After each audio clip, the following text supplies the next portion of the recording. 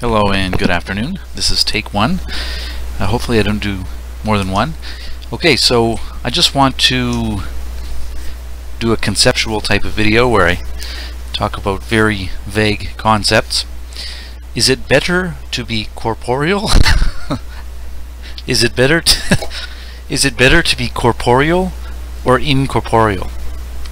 And I'll provide some definitions. Corporeal, it's an adjective of the nature of the physical body or bodily, material or tangible. Incorporeal, also an adjective, not corporeal or material, insubstantial, of or relating to or characteristic of non-material things. In law, it's also without material existence but existing in con contemplation of law such as a franchise. okay, so once again the question I'm asking, is it better to be corporeal or incorporeal? Worded differently you might say tangible or intangible. Now this might seem like a strange question to ask. After all, so far as I know, every human I ever encounter is corporeal, or rather possesses a physical body. But what would life be like if you could exist intangibly or incorporeally? And I don't mean dead or as a ghost. Okay, paused for a minute there. Maybe you could float around as a fine mist or a vapor or as a cloud of smoke or maybe an aura of light.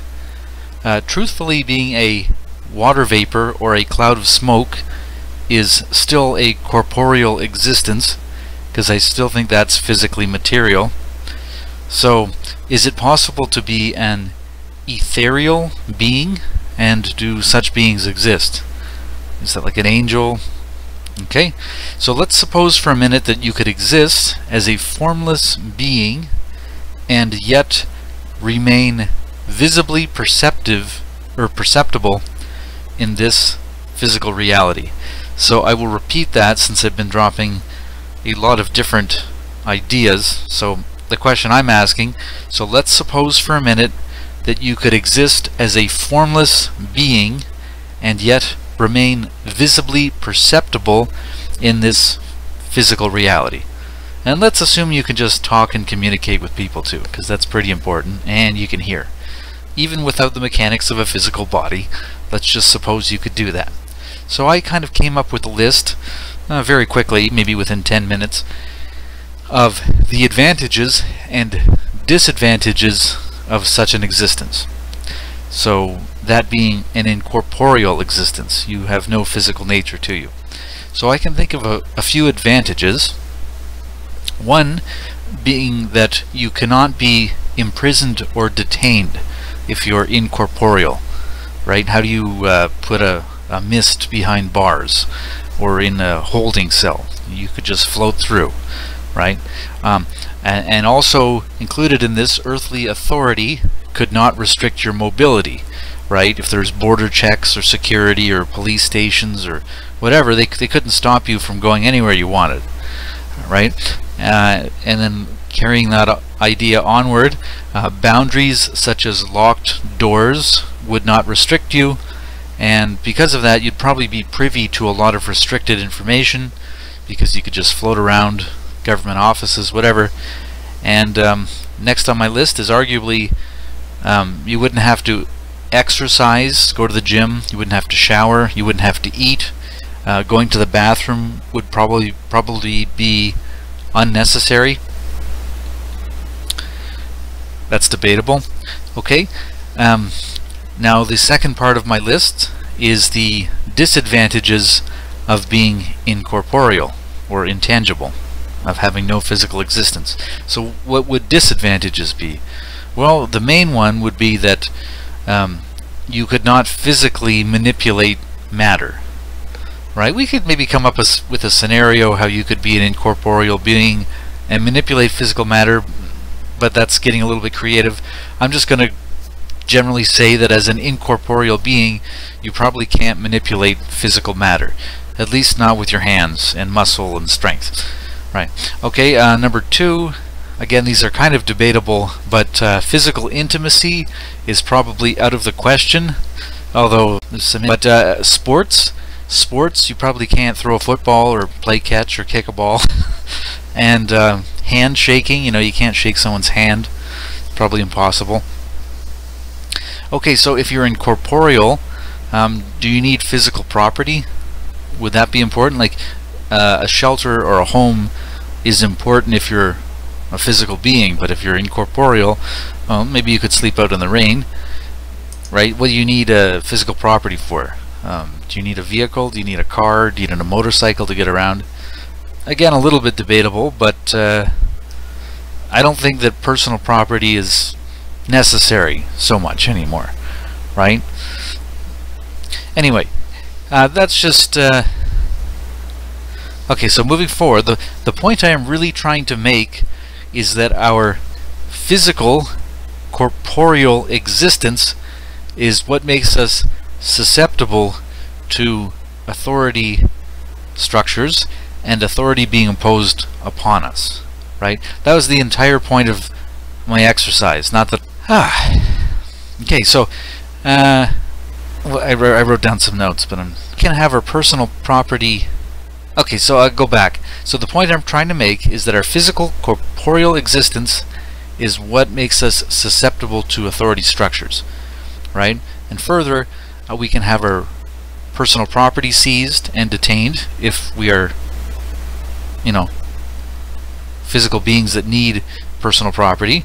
And if we are physical beings and corporeal, then we ourselves can be um, detained because we're physical. So this kind of brings up another question about our current reality, our corporeal existence, and uh, that's whether or not we own our own physical bodies, or do we merely possess them? And I actually thought this was uh, a pretty neat question to ask, so I went on to Google and I started doing some searches uh, just typing in generally, um, do we own our physical bodies? And a lot of legal stuff came up, uh, particularly medical kind of papers and research and legal discussions as well on um, whether or not we possess our physical bodies. And the strange thing is, is there really is no clear answer as to whether or not we do possess our physical bodies. Oh, sorry, some here at home. Okay, um, there was a a case where uh, military soldiers were given LSD and they were being tested as to how they would react and they were given this LSD without their consent or even knowledge of it. And I was just reading this one medical paper actually it's a legal paper talking about medical things and uh, the judge in Pennsylvania actually ruled that it was not um, actually I better look this up just so I have it right. Okay so okay I'm gonna read this into the script just it'll say it better than I can say it and I'll leave the link for this particular um, Yale University article in the description below uh, by somebody with an Italian sounding last name okay the title for this article was Do We Own Our Own Bodies? On page 7 of this uh, paper, kind of at the last paragraph, it says what it says. I will begin reading. More recently, there was a case arising out of an incident in which soldiers were subjected to experiments with LSD without their knowledge or consent. As a result of these experiments, they were quite badly injured. Eventually, when one of the soldiers found out, he sued for compensation. Note that the issue in the case was not whether the soldiers owned their bodies or whether the government had a right to do this to them, period. That was taken almost for granted. Rather, the issue was whether they could at least receive compensation from the government for the harm that was done to them. In an extraordinary opinion, from my point of view, this is actually the writer speaking, not me, uh, Justice Scalia said that there was no duty to compensate them, being the soldiers. The their bodies, in that sense, belonged to the state. Right? So here's even a legal decision. I'm not saying that's how all legal decisions are decided, but here is a legal decision in Pennsylvania, in the States, where um, it was considered that the bodies of these soldiers were belonging to the state. That's kind of a scary idea. Okay, I'm not going to go on and on and digress um, onto different subjects, but because I'm on this subject of whether or not you own your body, um, legally or medically, uh, there's related topics that seem to come up on this, are issues of abortion, which is a subject I don't really like. It's sad, I don't want to talk about it and um, there's also organ donation. Uh, what other things? Uh, military conscription. It's not as commonplace these days to hear about something like that, but Vietnam War, World War II, maybe the war in Korea, uh, men were forced into conscription. Well, now you're dealing with uh, making people do something that, that maybe they don't even want to do or consent to doing, but maybe they have no right over their own physical body. Okay, maybe you're listening and maybe this comes to your mind. It was one of the first things that came to my mind is that um, solicitation of your own physical body for, well, prostitution. Um, you know, you are not legally supposed to do that. Although at least where I live, I live in Canada, in Ontario, uh, apparently that's not the illegal act. Legally, it's actually the solicitation that is illegal. So it's like strangely worded even in the in the legal statutes. I don't want to say laws because they're not laws. So different subject. So anyway, I'm kind of losing where my topic was. Again, I, I, I recorded this in one take. I'm not going to make it again. Otherwise, I'll never be able to finish videos. So yeah. Oh oh, here's what I was really getting at. See, this is unscripted. Um, in Black's Legal Dictionary, there is a concept called duress. You may have heard of this, and I'm really repeating this as it pertains to what's legal. And But anyway, uh, duress in the legal dictionary, Black's Legal Dictionary, in I think this is 2009 version, says duress, strictly the physical confinement of a person or the detention of a contracting party's property. In the field of torts, which is like civil law, with his property and damages. Duress is considered a species of fraud in which compulsion takes the place of a deceit in causing injury. That's a little bit technical and jargony, but it's really relating to the confinement of a person or the detention of a contracting party's property. Now, of course, this being what's legal, if we look up the definition of what a person is, it doesn't necessarily mean a natural flesh and blood person. It's talking about a legal person, which is a legal fiction. It's, you know, your birth certificate, and I'm not going to get into the legal person debate, but um, yeah. So this is interesting that there is this legal concept for personal property. Now, again, I, I tried to look this up with not so much success in Black's Legal Dictionary, is uh, whether I looked up the word body because I want to know you know, maybe something would jump out at me as as to whether your body is your personal property. I didn't really find a whole lot of that in the legal definitions in this dictionary. But just body in general, I'll leave a screenshot of this. It hopefully you can see it on the page I'm reading on. Uh, the main part of a written instrument, such as the central part of a statute. Okay, that's the body of a document or a statute. The collect a collection of laws, a term a body of laws. Okay. Definition three. This is what I wanted to say to read in. An artificial person created by a legal authority. Okay, that's what a body is. Kind of strange because we're already three definitions into the main definition of body, and we haven't even mentioned a physical flesh and blood body, right?